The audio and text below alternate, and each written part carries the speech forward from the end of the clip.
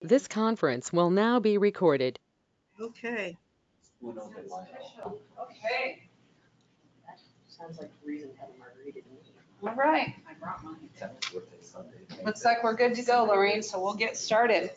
Okay. All right, welcome, everybody. Thank you so much for coming. It's my pleasure to introduce Lorraine Sacino Murphy. She is the department chair of the Associate uh, of of Science and Nursing, ASN is the acronym, correct, Lorraine? Yep. mhm. also the, uh, an associate professor at St. Luke's in Sioux City. And um, I will let her share more specifics about her career, but I always like to share some fun things about um, students, especially when we get to the point of being the chair. So Lorraine is our um, resident Prezi professional. I love Prezis. Um, she has mastered it. So, and she, she is going to be doing a Prezi today. So it's it's fun to watch. She mentored everybody and tried to teach us how to do Prezi. And I did one that was very clunky, but she's got the knack. I don't know, it must be a gene or something that you inherit. Uh, she's also a runner, so she said she ran this morning to burn off some stress. So we're gonna have a stress-free uh, presentation. And she is a lover of rock music. She goes to all kinds of con- concerts. And she is, also has a special gift for finding the perfect picture to go along with any mood. So, so Lorraine, is there anything else you'd like to share about your professional role? Uh, no, I'm not really. Um, I, I've enjoyed being, I've been the department chair for about four years now, and I've really appreciate, I really like that role too, where I get to work with students and faculty. All right, well, I will turn it over to her. Then she's going to be talking about her topic, grit, academic success, and nursing students. So take it away- Lorraine. All right. Well, I always say one of my most precious commodities is time. So I do appreciate you all taking time out to see my dissertation proposal defense. Um, I'd like to especially thank Dr. Barnes, my chair of my committee, and um, Dr. Broderson for their countless hours of helping me getting to this point. Um, I'd also like to thank Dr. Whitaker for his uh, expertise and uh, serving as the external reviewer, getting me to this point. So my topic is uh, academic success in nursing students and uh, and grit. Uh, it's been kind of a culmination. My my main focus starting this doctoral journey was always about nursing students and their academic success. And so everything that I did built upon that. And in that journey, I came across the concept of grit. And uh, grit, you know, you might think of as, you know, getting down and dirty and in the dirt and working hard. And, and in some ways, the concept of grit is, is that. Uh, but it has become a kind of popularized concept uh, in the liter- literature and uh, mostly in um, sociology uh, and psychology, uh, like psychological literature, uh, and kind of really just exploring what does grit look like uh, with this this newly defined concept of passion and perseverance to pursue long-term goals. That's how it's defined in the psychological uh, literature. Um, and how does it look in, uh, to nursing student success? So that's really the purpose is does it, is there a relationship between uh, grit and nursing student success? We know that nursing school, whether you talk about undergraduate or graduate, it does require dedication, hard work, preparation, not unlike a painter or sculptor, you know, where you're building something, you're, you're building a career and it's lifelong learning. So uh, that takes passion and perseverance. And so that's why um, the concept of grit and nursing students really, you know, and, and their success and, and what does that look like? And as I looked at the literature, there really wasn't a lot out there um, related to undergraduate and graduate nursing students, especially graduate nursing students. So that's why my focus is going to be on graduate and undergraduate nursing students in one college of nursing. So Angela Duckworth, uh, her work, uh, she defined grit in the last 12 years, um, has done a lot of work uh, studying it, um, looking at its connections, and, and ultimately defined it as passion and perseverance to pursue long term goals. It's about stamina. Talk about, you know, running and it's not a sprint, it's a marathon. It's sometimes goals, atta- attaining goals uh, over years and, or a goal over several years, not just day, you know, day by day, but sometimes it does take the day by day to get to that point. But really working hard to achieve goals and making um, those goals a reality. So why is that important in nursing students? Well, perseverance, passion, grit, they, they really are all, uh, they are important to, um, to nursing school. It's very rigorous. We know that, um, and, and whether we talk about undergraduate or uh, graduate nursing students, uh, ultimately, we know that there are shortages in nurses.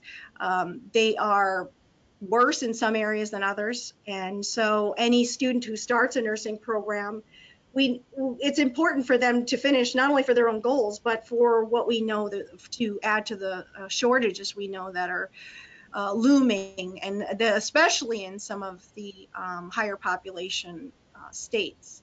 We know there's a shortage of educators, as nurse educators as well, and we need uh, we need nurses who complete their degree and get a bachelor's degree to move on um, to become educators if that's the, what they desire, so that advanced degrees can contribute to that. We know also that uh, nurses with advanced degrees do improve the, the delivery of care, and whether it be through practice, whether it be through their own education or continuing education, or educating others, and then they're also needed through leadership. So again, we, those nursing students who start a program, you know, we want them to complete that. So, you know, what does grit look like in those students? Um, and how does that how does that influence maybe their success in a nursing program? So that kind of led really um, well, when we're talking about that, we're talking about nursing student retention and attrition and therefore uh, preventing it. We want to, how can we prevent nursing student retention, or how can we prevent them, uh, retain them in a program and prevent their attrition from a program? We know that in nursing, uh, for nursing programs, success is linked to positive mindset and pers uh, persistence.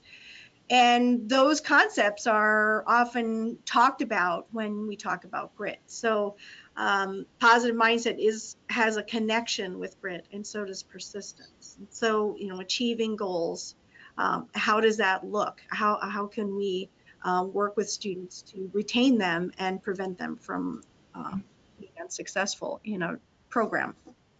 Typically, in the nursing literature, you see that uh, academic success is largely connected to academics. Grade point averages, cumulative grade point averages, nursing course grades, science course grades, they're very much linked to success. And we kind of know that. And that's a lot of times why uh, admission criteria are surround that. But then we're also looking at the non-academic, just like at Allen College, they do the holistic admission um, uh, acceptance. And so uh, looking at some personality traits. So in some of the literature, they looked at resilience, self-concept, motivation, self-efficacy, not with much consistency, not like the academic piece. And um, so uh, the other piece to the academics is academic progression. And I think it's important when we talk about academic progression to kind of define what we mean. Uh, because there are lots of, when I say retention and attrition, some people use those words interchangeably. I think that when we talk about academic progression, there's lots of variations. Ultimately, someone who starts a program, and uh, can you see my little arrow? Yes, we can. Yes. Okay, good. Because I wasn't sure if you could. So, so ideal retention is that student who starts a program and finishes it without any um, withdrawing or failing a course. They, they basically follow the progression, the normal progression of that core uh, plan of study to graduation. A stop out retention is any student who may uh, withdraw from a course or withdraw from or, or uh, not successfully meet the academic progression requirements. So in undergraduate, that's a C or above. In graduate, that's a little higher, B or above. Um, so it kind of depends on the program. They have different parameters. It could also be clinical um, failure, uh, something like that. But ultimately, stop out retention is there. They haven't left the program. They're still in the program. They're still persevering and they're still uh, just still going. Uh, but they just had kind of a stop out.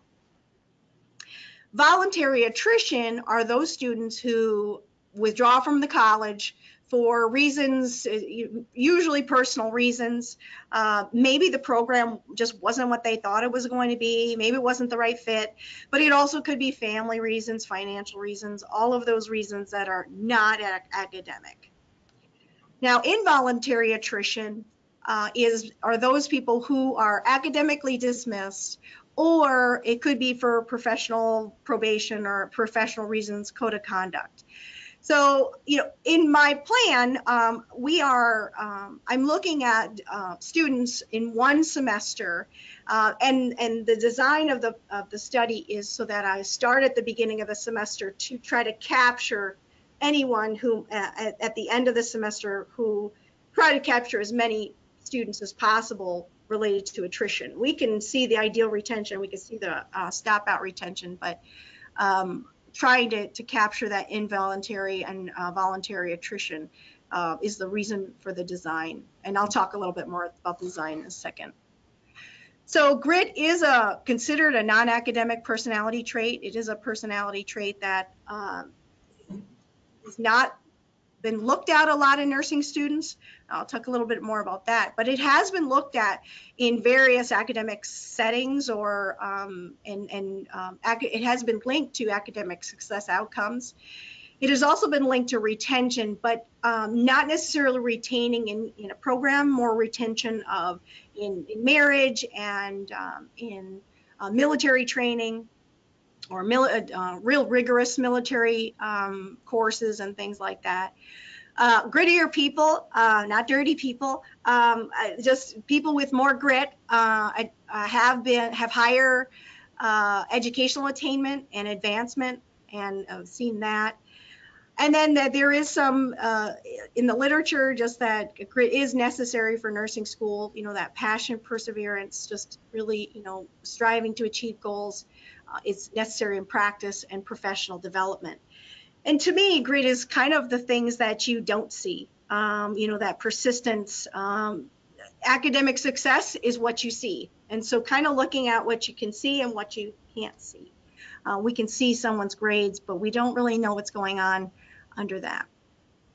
So here's kind of really the, the extent of what I could find uh, related with grit and nursing students.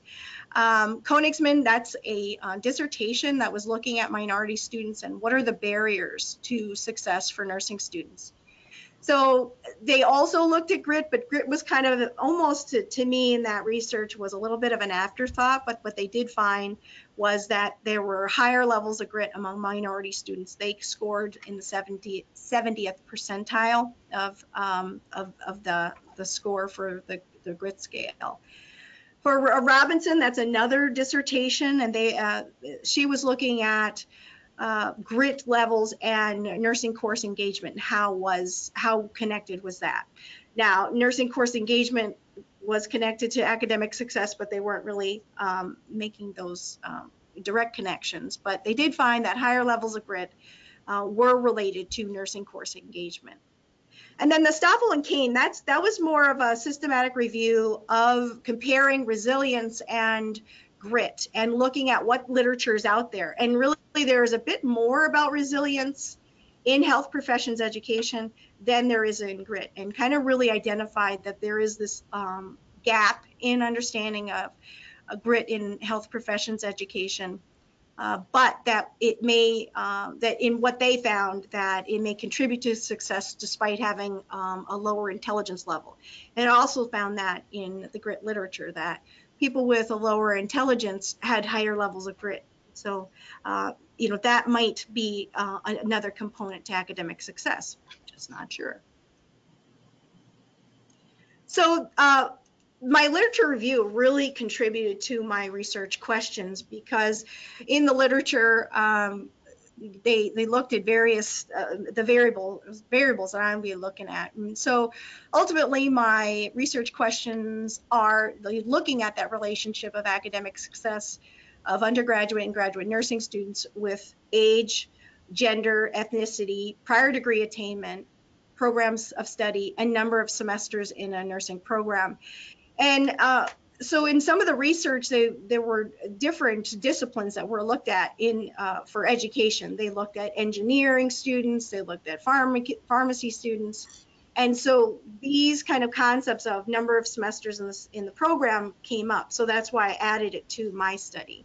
Uh, also looking at the differences of program study when you look at undergraduate and graduate nursing students, you have, there's very uh, many different um, programs in that, in that. And so looking at are there differences between the programs. In past research, prior degree attainment has also been linked to academic success. So, you know, what does that look like in nursing students? And then also the one of the main components is looking at that relationship between grit and academic success in these uh, students. So an a uh, age was a, uh, one of the factors too that uh, found in the research that the older you are, the higher your grit is, so higher level grit. So as far as academic success, I had to define what is that? What am I looking at exactly? So this kind of outlines that. I'm looking at cumulative, cumulative grade point average. I'm looking, excuse me, I'm looking at nursing grades, but basically to see how are they progressing you know, are they are they achieving based on the nursing program the grade requirements? Kind of yes or no. That will help me identify the ideal retention, the stop out retention, um, and then ultimately that will both of those things will contribute to the involuntary attrition, um, and then um, then the voluntary attrition will be just information gather from you know are, are the the students who started the program still in the program and, and reasons why if they're voluntary, not in the program. Why, you know, why, why do this? Well, um, understanding these relationships will help guide any strategies we use in nursing education, whether it be undergraduate or graduate, uh, maybe help guide some of our strategies for retain, retaining students, helping them complete the program, uh, even you know get kind of putting into place if it's if it's relevant if there are relationships to kind of start planting that seed in undergraduate uh, education because we know that nurses are lifelong learners and we want them to uh, strive for uh, higher degrees and advanced degrees to help the profession and so uh, again, if there are significant relationships, they can really help guide some of those strategies. We're always looking for different strategies to use, and I, I think that if, if, if there are relationships, it can be useful to kind of guide um, um, data-driven decisions related to these strategies. So my methods, there are methods to my madness. Um, I plan to do an exploratory descriptive study, a quantitative study. So really, because there's such a lack of understanding of grit in nursing students, it's going to be a bit exploratory. I'm not really sure. I have a feeling of what I'm going to find based on what I've, you know, found in in my literature review but I'd like to describe it. I'd like to describe it in the nursing student uh, and, and that population and undergraduate and graduate. Uh, it's cross-sectional, so I'm only really looking at one, you know, moment, if you will, in time or one time frame. Um, the participants who do agree to participate in the study, they will uh, have to agree to allow me access to their student records. Um, they will also, once they agree to that, they will complete an eight item survey that uh, will is basically the grit scale, or it's called the short grit scale or grit S. Um, that was developed by Duckworth and her team, and uh, it looks at total grit, but then it also has two subcomponents of grit: uh, perseverance of effort and consistency of interest. And that perseverance of effort, that's really been kind of in the research. That's really been kind of the link to academic success. However, consistency of interest is linked to retention. So that's where those kind of pieces really are, I'm really intrigued to see what that might look like. Uh, I- the demographic data that I uh, will be looking at that are part of the research questions um, will be exported from the student data system by the coordinator. Uh, so I'm, I'm really working in collaboration, uh, really keeping in mind the importance of the student's privacy of their information, considering FERPA guidelines. Um, so that information will be exported by the uh, data system. And then the uh, survey that we're using, we, uh, I'll be using Allen College's Survey Monkey um, with in the coordination uh, with um, the coordinator for institutional research and effectiveness. I might have that mixed up, sorry. Um, and then um, uh, so she will be exporting that data and kind of combining the demographic and academic data and the survey data together and then de-identifying it. So then I'll have all of the data to uh, to look at, but then I will keep the student's information private or as private as can be. So this design does allow for that privacy. Um, we kind of, you know, we did go around and around about, you know, I could ask the students about, you know, what their GPA is. And sometimes you're not, you, you don't get the most accurate information when you ask students about their grade point average. And, um, and, and I wanted to get the most um, accurate and valid information. It does ease, ease the burden um, of responses for the students. So the uh, survey, we, we've tested it out. It takes like three minutes for the students to complete. And, uh, you know, so kind of easing that burden for the student to get them to participate uh, really uh, was kind of why we designed, why we worked together on, uh, and it was designed this way.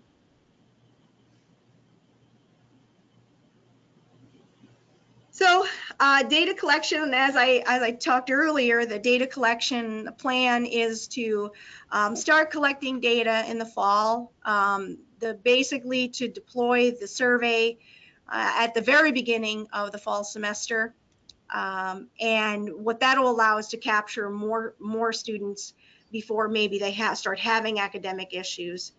Um, they can withdraw from the study at any point, and so that information will be there. So uh, that there's there's that's a, a, limitation, but we'll you know kind of work with that. Um, once we get the survey, once the survey data is uh, received, then we can export some of the uh, the demographic data and maybe start doing some of the initial work on um, analyzing the, the survey and, and um, the uh, the validity of it and, and the, the, data and start to maybe start putting some of that together.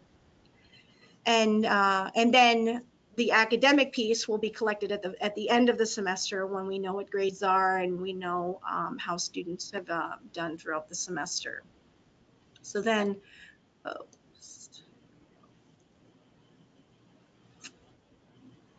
oh sorry.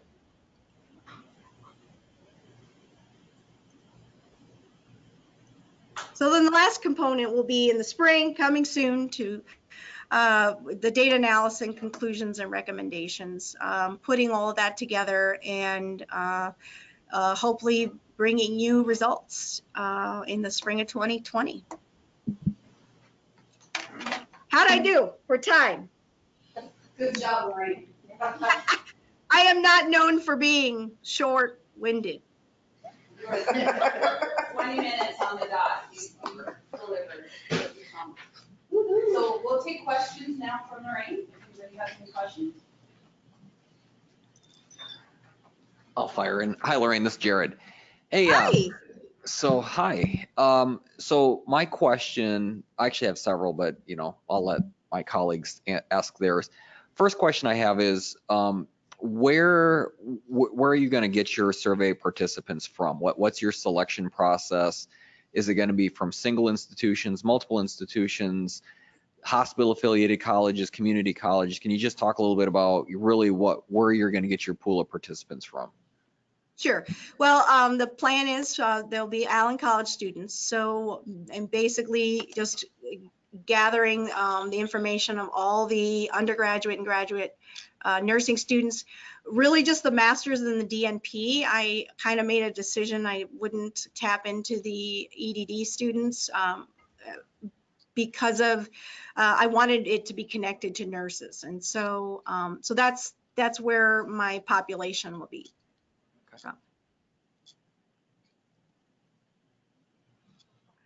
Um, so have you given consideration, and I, and I, and I think everybody in this room will agree that when, when you're at the stage where you're at in, in the research process, I was there, I can guarantee pretty much everybody else will agree that sometimes getting data from research participants doesn't go exactly as we planned. I think sometimes we think that, yeah, I'll get two or 300 responses. They'll come in over the course of five to six weeks and everybody will be very happy. And I I think, have you given consideration about the requests for the students, um, their, their student file, how that's going to affect your ability to get participants? I'm sure you've discussed it with your committee chairs and your committee members, but from an outside perspective, that that sort of gives me pause about what that's going to do to the people that self-select into your study because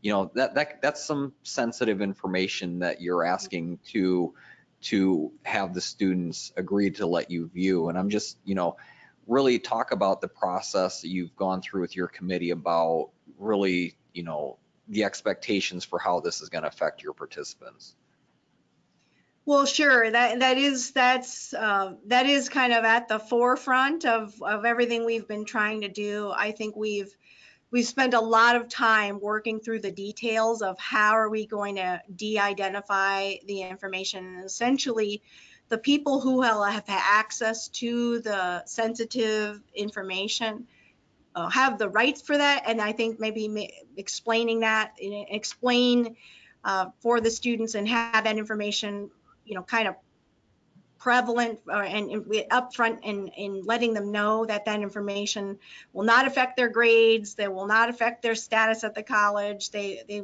uh, their participation will have no impact. We also have in a, not that it's going to be a big incentive, but there'll be uh, an incentive for a drawing to participate. Now that doesn't, you know, doesn't um, downplay the importance of their their grades and and that information. Uh, you know, really just stressing the the point that um, the information I get, I will not be able to link to them, and that the the people who have access to that information um, are really just collecting it and and and are not making it. A, that's maybe sometimes part of their role in that i- i- at the college. Did I answer your question? Uh, yeah, I, th- I think so, but I, I really part, sort of the part B to that question is then Okay. what, what, what is your alternative or contingency plan if, if you, if you really don't get a solid number of participants to materialize, sort of what, what's your backup plan? You know, let's say you're, you're getting into mid to late October and you've only had like 50 or 60 agreed, you know, um, participants, you know, really what's your plan to get that data collected so you can start, you know, uh, synthesizing and writing in the spring? Yeah, I think that, um, I mean, I, I, I think that we will be sending out reminders and maybe, um, maybe encouraging, um, you know, students to participate. Again, they- can self-select. Um, we have calculated a G-Power that, um, we would need about, um, 73 participants if, uh, so I think we've kind of work that out. I think we can also look at it as a limitation. Uh, but, um, you know, really um, continue to reach out to students and, and um, you know, maybe explaining a bit more about how, im- uh, about the, why it might be important to look at that and for them to participate. Lorraine, can you hear me? Yeah. Oh, okay. So you, I thought you also were planning on maybe if, if um, you didn't have like 73 uh, Yeah. students, that maybe you would extend your data analysis or data collection into the following semester. I, or did I dream that? I thought I saw that somewhere. No, I mean, that's definitely something we could consider and, and that might give a better, um, you you know, capture a little bit more. Um, We could probably even capture uh, more students if we, we had a full some um, academic year. Um, so no, I mean, that's something we could consider. Um, I think that's, that's all part of the research process in uh, adjusting to, you know, the, um, the data we get and, and, and how do we, uh, when do we stop collecting data? When do we, when do we continue? Uh, I think that's part of the process. Well, this is Jared again. You know, I, I think looking at it, and I, I, I will say, I think this is a fantastic study because the more information that we have about really, if- we can get something that, that can help us better identify students who might attrition out either on their own or, you know, voluntarily or involuntarily, I, I think this is very valuable and, you know, it, it definitely adds to the, the research database for, for the profession. With that being said, how, how are you going to handle the attrition piece? Now, you know, as from an administrative standpoint, I can sit and tell you that I hope that 0% of our students attrition out during the semester that you are conducting your research, but the odds are in the favor that we'll have at least some who do attrition either voluntarily or involuntarily. Um, you know, really, how, how, are, how do you plan to address that? If you get a lower than, than expected numbers of attritions, you know, do you, again, have a contingency plan for how, how would that look if, as you're trying to synthesize your data into, into sort of that attrition piece? What are you going to look at as far as, um, you know, an expectation for the amount of students you need to attrition to have some valuable data? Well, you know, that's a good point. Um, I think that, you know, the other piece is the, the retention and also success in nursing courses. So, you know, I think that maybe that because it's looking at, because I'm looking at retention and attrition, um, we may be able to just, uh, you know, we can just be able to explain what that might look like. What does the, what does the level of grit look like in those students? Um, you know, being it being a small population um, size. Uh, so I think that um, that that is that is definitely something that might come up. That and and you know there really is a small population of doctoral students. So there's you know that's probably um, you know that is something that um, I'm uh, I might have to um, aggregate the data with the the graduate students. So maybe aggregating a, a bit more data, um, you know, just looking at them as a whole. Okay.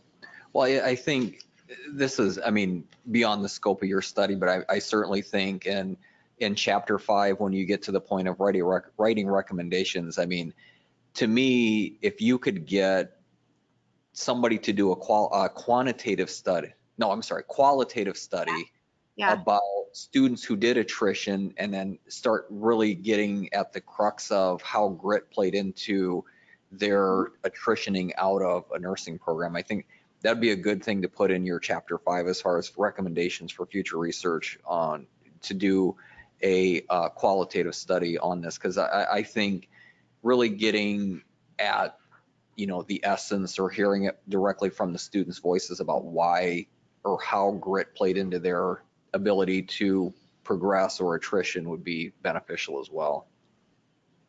I would agree. And I think that there really is such a lack of data that this would just lend to that. Anything found here would also contribute to that.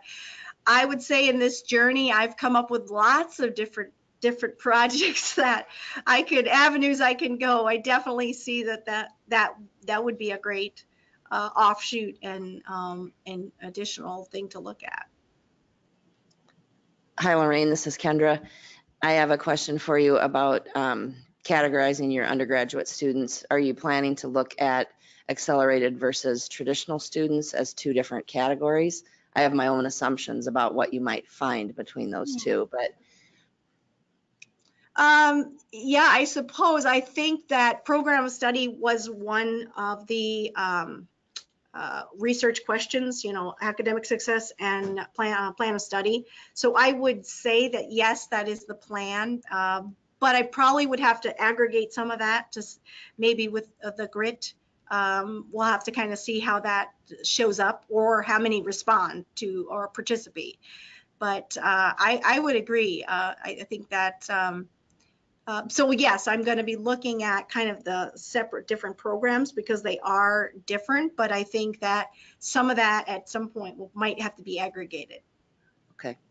And if you're, um, if you're ready to start data collection, you certainly could start this summer because we have lots of students in class in the summer. So I'm not sure if you're, you know, what your goal was for starting in the fall, but, She hasn't got through IRB yet, has she? She hasn't gone through IRB yet. okay. She's pretty close to being ready for She's, summer. she's close. Okay. So, um, we picked fall because that was like a natural break point. We wanted to look at one subset at a time. This is, One- One thing I'll throw out, Lorraine, um, I- that I just want to ask you too, is I know you did quite an extensive literature review. And, um, uh, just from working on the paper with you, the permission to use your instrument from, uh, Duckworth came along with a disclaimer that it not, not be used for academic decisions. So in your literature review, have you found any institutions or, um, healthcare programs that are using any kind of grit scale as part of the admissions process? That's a good question. Uh, no, I was actually, I was at the HLC conference last year and um, I can't remember the speaker, but the speaker was talking about, he was at Goucher University. Anyway, um, he was talking about, he was giving the grit scale to his students. Now, they weren't using it as a mission criteria. And I think, like you said, that's, that's kind of a, a stipulation with the use of that scale. Uh, but uh, in in K through 12, there was a lot of rumblings about, you know, using the grit scale and and trying to promote grit in in K through 12. So I I think that it's uh, it does have its limitations, but I think that um, yeah, I, I haven't seen anybody using it as a criteria.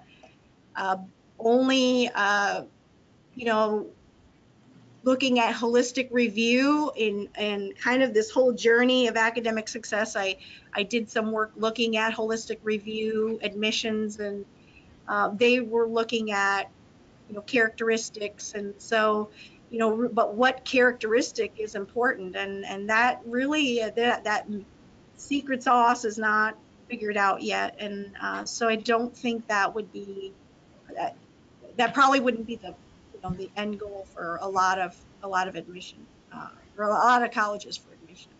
And I'll just throw too, um, piggybacking on Kendra's question, the accelerated start at the end of May, right? One cohort does, yeah, and then another one starts in August. Because, and, you know, and this is the good thing about the proposal defense, Lorraine, is we do have, come up with, um, extra ideas. You are, you are almost ready to submit to IRB. Theoretically, she could be ready to Yeah. collect. She said because summer her and study fall. would be expedited, so. so it wouldn't have to go to full committee. Yeah. It wouldn't have to wait for.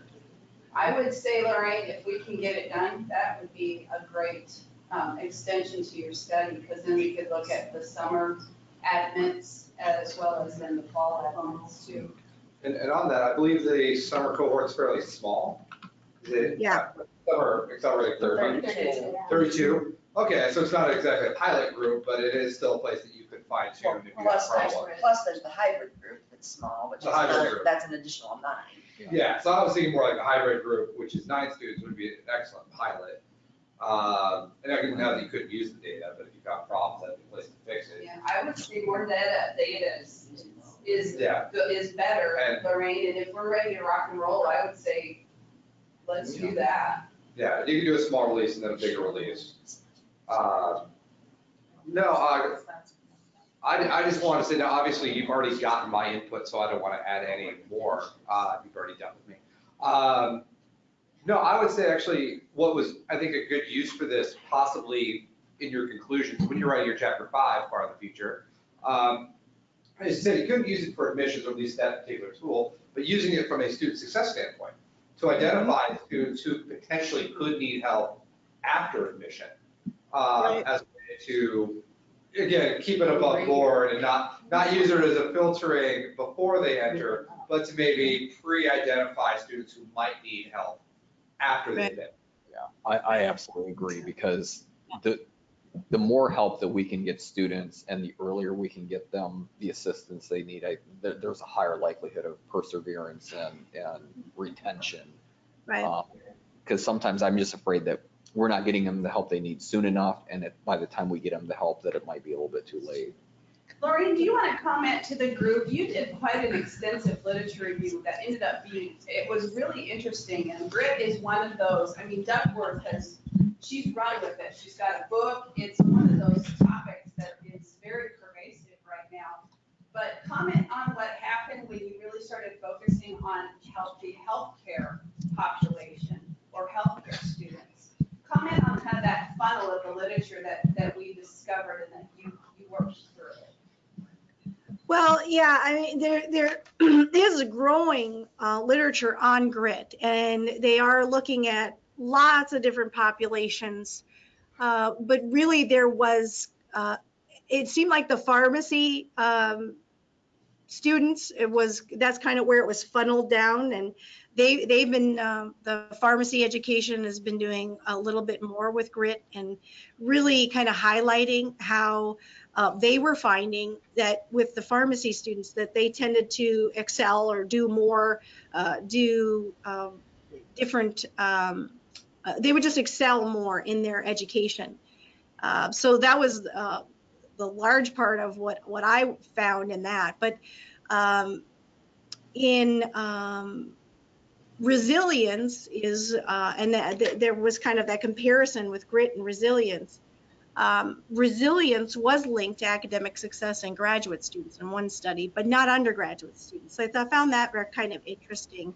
Um, those weren't either, those were, um, those were, I believe those were um, nursing students that they were looking at resilience and they were looking at undergraduate and graduate nursing students. So that kind of also sparked, you know, how different is grit to resilience and um, and I think in, in, in a lot of ways, it's that stamina and, and um, achieving goals. But um, is that what you mean, Brenda? I mean, I, I know that, um, you know, I really kind of, Impressive grid, uh, literature grid, but it was interesting from my perspective and how much you uncovered when you looked at uh, K through 12, high school, call liberal, liberal arts college, but when you really started focusing on the healthcare side, there was very, very little literature. There was, you found the occasional presentation, but nobody has done anything to the extent that you are proposing at this point. yeah, it's really been just dissertations, those two dissertations, and then that one um, systematic review where you can find that in the, the grit literature was, you know, like I said, engineering students, pharmacy students, uh, um, physics classes. It was, it was K through 12. It, uh, they, they really have looked at a lot of different populations. And then they've also looked at just the general population. There were spelling bee contestants uh, and how to, you know, whether, you know, who has grit in, uh, or more grit and how does grit in- influence uh, their success in spelling bee uh, competitions. Uh, there was a, there's a lot done with the military, and as a matter of fact, um, Duckworth and her work, and then kind of uh, kind of uh, shoot offs of that, have looked at um, West Point graduates and can, uh, uh, candidates or cadets. That's what they're. Uh, that there is this, you know, it takes a lot to get into West Point.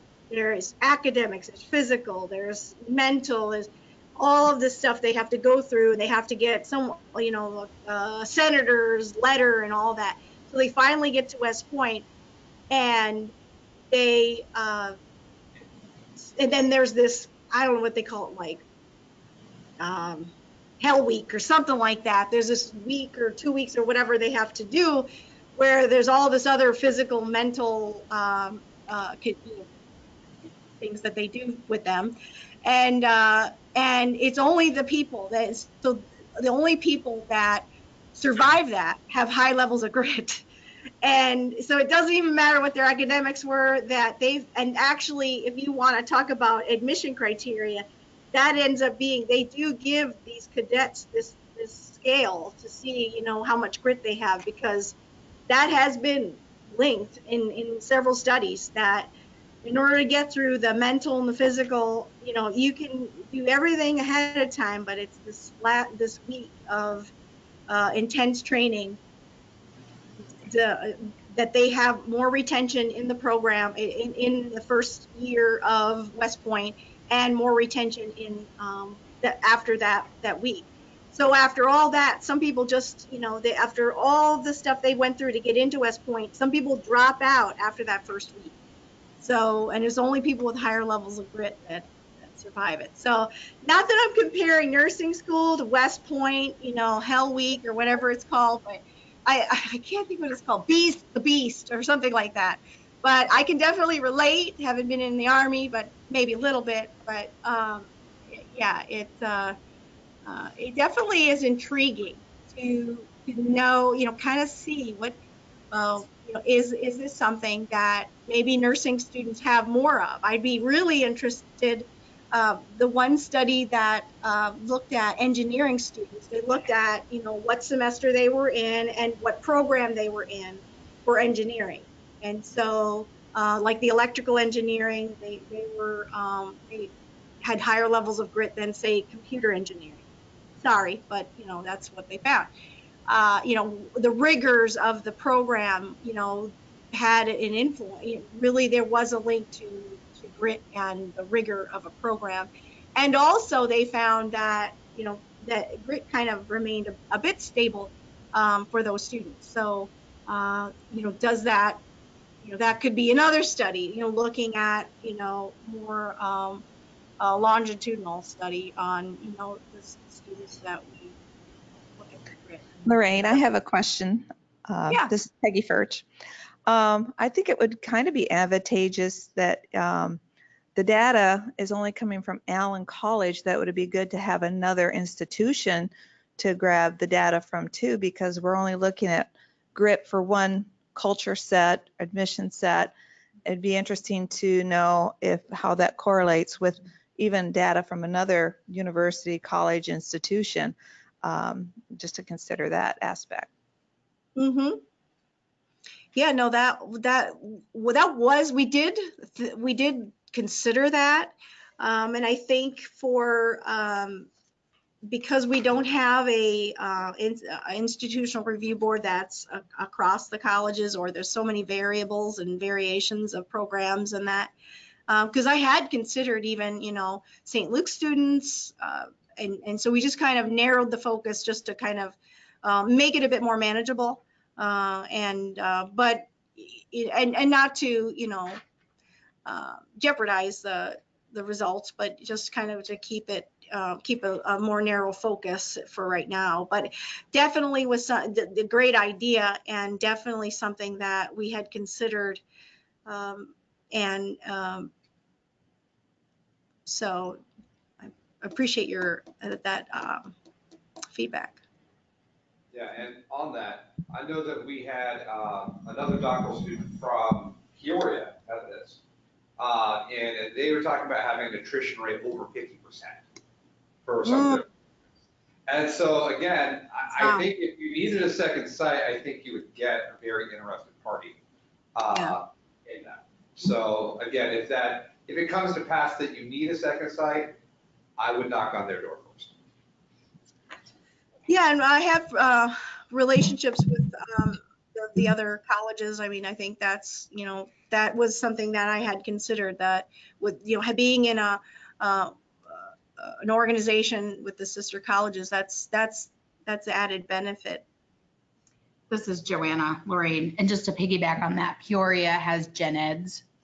Um, so keep in mind at Allen College, we're upper division, so we're not Mhm. seeing the typical, uh, involuntary attrition, um, that you might see at Peoria because they're not usually homesick anymore. Um, Things like that, we don't have to take into consideration. Um, So I think Peoria, Yeah, it may not be a perfect match, but, yeah, because we have nobody, everybody who's walking our door generally has two and a half, three years of college. But Yeah. Trinity. Trinity might, is similar. And I don't know if, if your student makeup is more of the 18 to, to 20 group as well. Um, We're more 20 to 24 for undergrads. But you could always address those differences in your study. Yeah, I think you'd Be prepared to talk about it, because I mean, I, that was one of my concerns that I didn't bring up, that I think if you ever go to publish, I mean, I think, uh, you know, a referee journal might, you know, they might have some concerns over the, the, you know, do- does your, does your, um, sample size adequately represent the population? And, you know, Sure. that, that's something you'll just have to be able to explain and write to. She's considered all of that, right, Lorraine? I mean, and I, Oh, I mean, absolutely. I think I had that and then, and then some. The obvious place to publish this would be a nursing education journal, and they do not just automatically um, reject a single site study. They just request that you publish it as a brief. And some of them don't request that you publish it as a brief. You can still publish it as a, And I think it'll, it'll depend on what your results show. I mean, I, I think that this is, I think this is a very publishable study. I, you know, really, um, like Dr. Broderson said, I mean, it, it's, it's gonna come down to, I think, who you choose to publish with and really what their philosophy is on single site studies. if, I mean, if it's a well-designed, well-executed study, publishing is not a problem. You'll be able to publish it, so. And I think adding in that extra small cohort that we're, we're considering, Dr. Winfrey brought up a great, great point. I think that will just add, I mean, more data is always better. And, you know, that, that might be an unintended consequence of this study if you have this small cohort that you can follow through both the summer and then into the fall. Right, That's an extra benefit to consider and look at right. considering that there really was no nursing studies that we, we, we developed from the ground up. We didn't have anything that we could really follow. Um, so we were, we were, it was our sandbox, if you will. And this is Joanna again, just also that group that starts in the summer, we have a group, two groups ending in the summer as well. So we've got more than just the summer starts, we have the summer enders. Right. So I would there's a say, good group put of- put all that in your IRB. I mean, you can, you'll have different pots of people. That's a great point. But one thing you will have to explain is you don't want to double survey people. So you want, Right. you got to figure out, you know, if you're going to repeat this in the fall, we don't want to resurvey people Right. right. who've Not already by been cohort, so surveyed. I think Yeah, that's, yeah, we can that's easy to certainly avoid, yeah. Get you li- email lists based on cohorts. So whatever, if you, uh, if you collect data from the accelerated students in the summer, then you would just exclude those from the request to join the study in the fall. Right. Yeah. Yeah, so you But just get get a a new, cohort. but we could exclude them by start date then? yeah. Okay, Well, just by- during the But data you could get analysis. returning students in the matched fall up. who weren't here this summer also. I don't, I mean, I don't know That's how, what you- I'm trying to say. does it matter So- when they've started? we'll, Is we'll that get gonna it be a sorted out, component Renee. of I think that's a good, um, Mm. that, that's a good added. how many pot total for us to cohorts we look have at. running at the time? But it's a lot. Right. Oh, I know. You do have a lot of cohorts at one time. A lot of balls in the air. Lorraine, I just wanted to point out one more thing more just for the audience that you had mentioned, you know, that students could withdraw at any time, and that is true until the date is de-identified. And then when they request to withdraw, we don't know who to withdraw, so, so, and that is in your, that's in her consent document, and everything, so. Lisa's done talking, so Joanna's gonna start talking. Um, I was just wondering if you found, um, I did a dissertation similar to this about four years ago.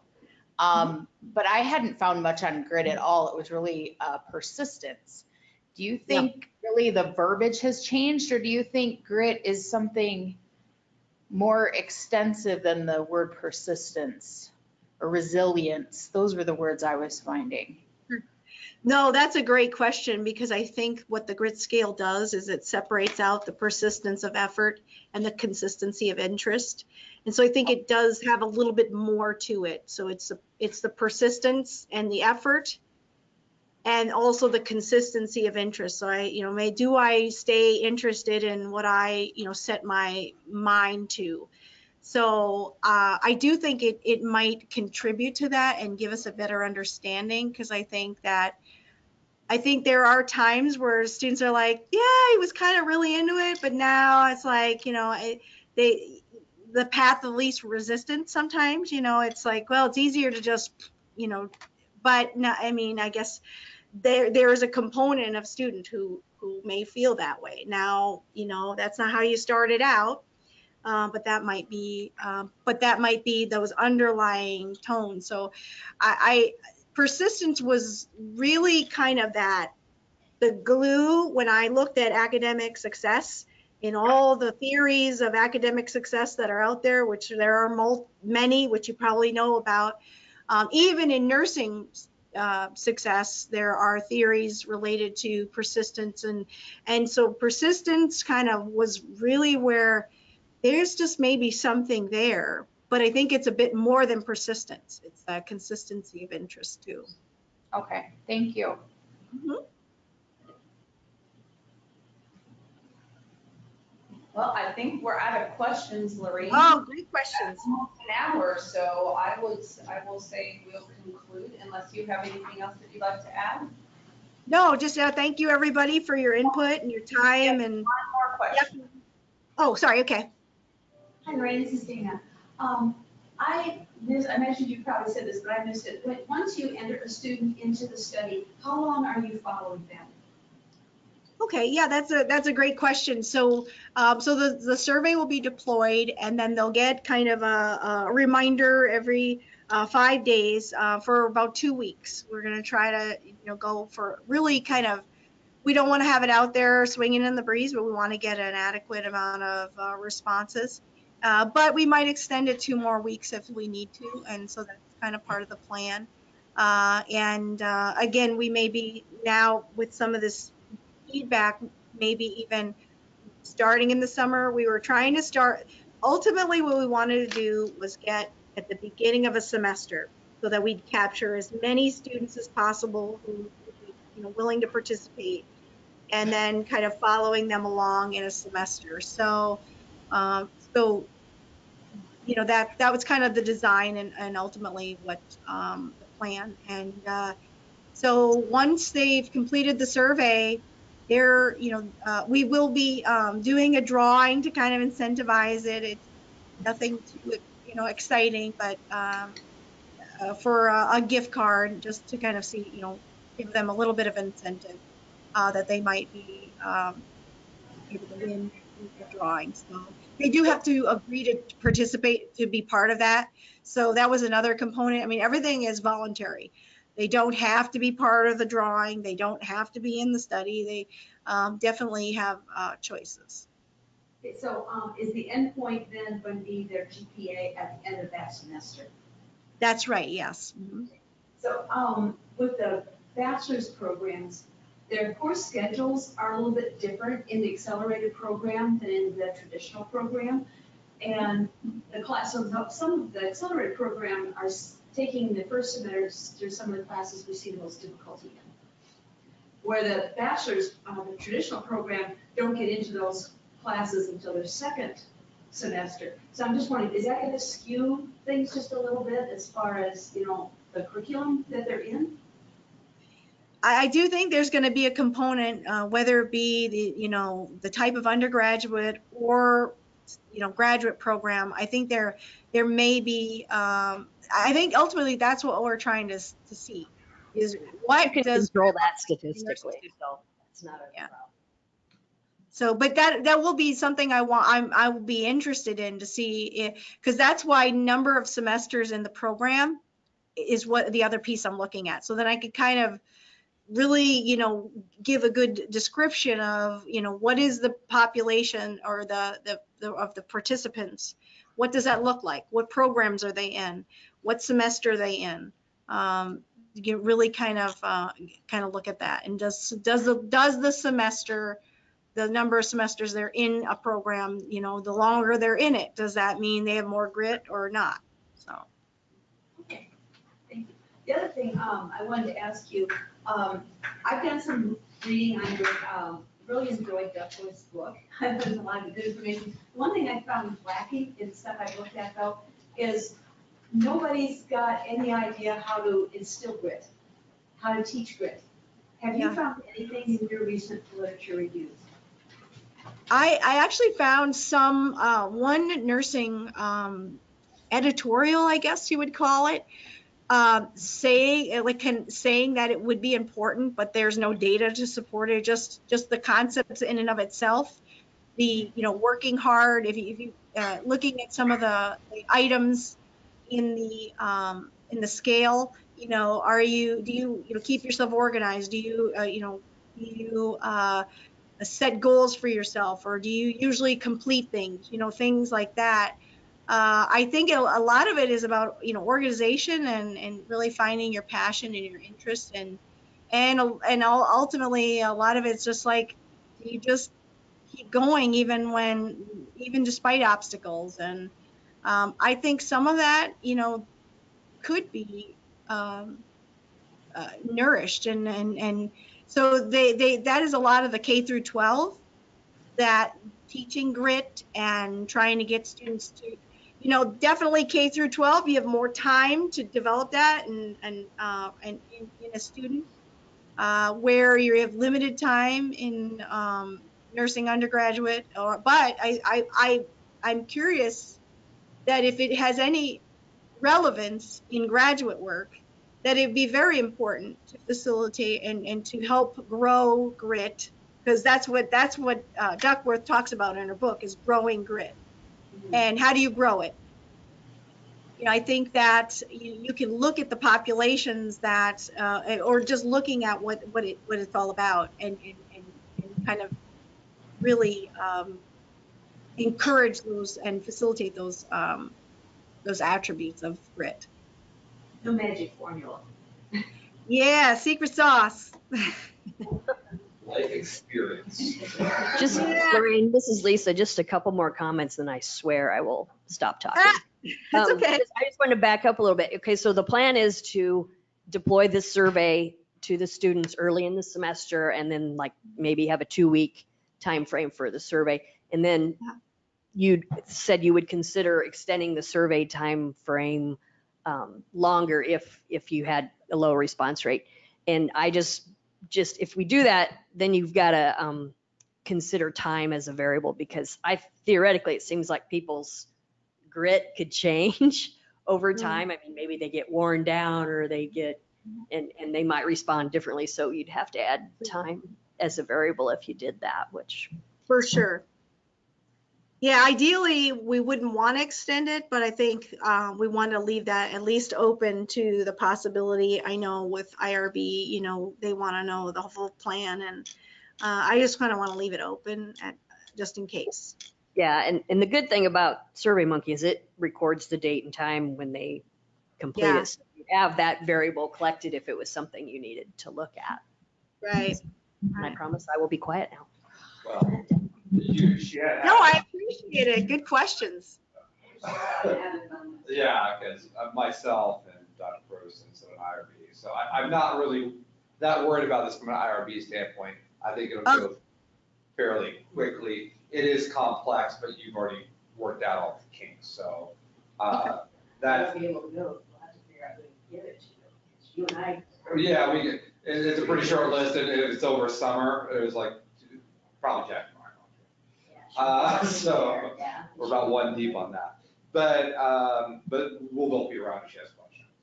But you're, you're pretty well, you're, you should be able to turn that IRB around quickly, correct, Lorraine? You have the bulk of And the then work we're on going the to Jack instead. Yeah, I have the application done and uh, we're just got, um, I've just got to make a few adjustments to the, some documents. Well, she, she better be if she's not, she's gonna be. Yeah, I, yep. No, I was,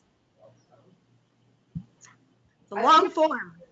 I I think it'll be good to add in the summer, just as, a I mean, more data will be. Okay. I I think it'll, it'll just benefit you, especially, you know, the, the big thing that I want, wanted everybody to see was, um, and if you need one, you can tell more for your Yeah, yeah, but Most of the rooms left, by the way, there's just. three Yeah, or they four must have another meeting. Yeah, all the leadership team left, We so. just, we just didn't have any studies to go off of, so we're kind of, we didn't know what to do. This is our, our best first attempt, so I think that's a good plan to add in that other group, and we'll look at that in addition to the fall group as well. Okay. Well, and, uh, yeah, I think we're ready even, uh, I mean, we're getting very close to, you know, the, we have to have IRB to do the trial. We were gonna trial it out, right? Yeah, but I think just add in that extra, you're gonna deploy it for like a two weeks, starting in this, with the summer, the, the summer session starts the last week of May. Yeah. So we'll just add that in and we'll collect that group. Great. Yeah, we'll have plenty of time for that then. We'll be ready. Yeah, there's different groups, so we'll just, we'll sort it out. It's doable. Yeah, well, especially if you use that Des Moines group, the nine of them, as your trial. You could do that as your group. They weren't supposed to be included in the original study anyway. Right, we were gonna, tr- the trial was just gonna be to a couple of different people to make sure the sur- Yeah. the survey was going through. Um, But, and the summer group would be a good trial group for the students to see, make sure that everything, because it's a smaller group. I also want to give you what your response rate is gonna look like. Yeah. I don't even, you just need a couple of students to do it so that they can identify any glitches Yeah, in if it. I mean. So Mm. I think we can just ask for specific lists. We can ask for the new accelerated groups and the accelerated outgoing out accelerated I groups. think Joanna, yeah, she kind of gets it. Yeah, yeah. she'll make So we'll be able to pull some lists for you. So we wouldn't want to pull, we wouldn't want to do everybody. Like, because there might be graduate students, because we might not capture them and you don't want to resurvey them. I think it would be good to write it as, you know, the accelerate, looking at the accelerateds in the summer is a good trial. Okay. We can look at everybody in the fall, because that would give you some good comparison. uh, Okay, just a, a select group. Mine Were we calling that our trial? Yeah, what's that? Are we calling that the trial then? Or pilot. Yeah. you could- Pilot? Oh, yeah. Mhm. Really though, I mean, I, I can stay away from the term pilot. It's really. Okay, yeah, I know. Yeah, sure that there's no typos or Yeah. the students from their perception, but. Yeah, you may can't want- Analyze the data or anything. Yeah. Well, you could analyze it. You could say, you know, we'll run a test with this group. And if it comes back clean, then we'll use that to be, you know, that data. Mm-hmm. Because I like, don't see the point in spending the time analyzing the data, you just want feedback from them on, was it Yeah. a survey? We had a trial in place, just a really small trial to make sure that the, the survey instrument looks fine. And then we can start like the, the data trial. Yeah. With summer group and then do the full blown I think you could have a couple graduating students. I, I don't know, I can't remember who she's thinking about having tests survey. It was a couple of faculty, Allen oh. faculty, and then you were gonna send it just to a couple of students, like your students, right, just to. get Yeah. some- uh, then, then let's just leave that. then. Let's not. Let's not monkey with that because I'd rather have that. Because again, I want you to get every possible survey you can. Jared said it, I said it, I'm worried about sample.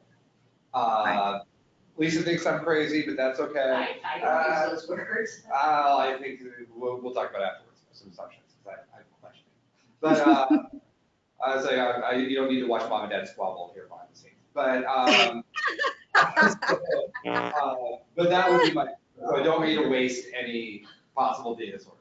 I would agree with that. I think we all agree on that. Lorraine, any more questions for us? And we'll, we'll let you off the hook and I'll, I'll give you. No, I think that, um, just, we, we can talk more. Uh, So we have a data trial and so the data trial will be accelerated and the trial will be just a few students, faculty, maybe grad. I, I- I'd hate to tap into the graduate students because I don't want to resurvey them. Would that, Lisa, does that- I would put that, uh, graduate students in the fall pot. Yeah, So yeah, yeah. Doing is a survey trial and then a, a da, a summer, summer student data trial. And then a, the full blown everything in the fall. Right, right, right. right. Yeah, Okay. that sounds great. Okay, All job, right. Lorraine. All right, we will, uh, I'll let you go, I'll end it and we'll let you go and I will give you Thank you Okay. Oh, thanks, Lorraine. Bye. Thank you. Thank you.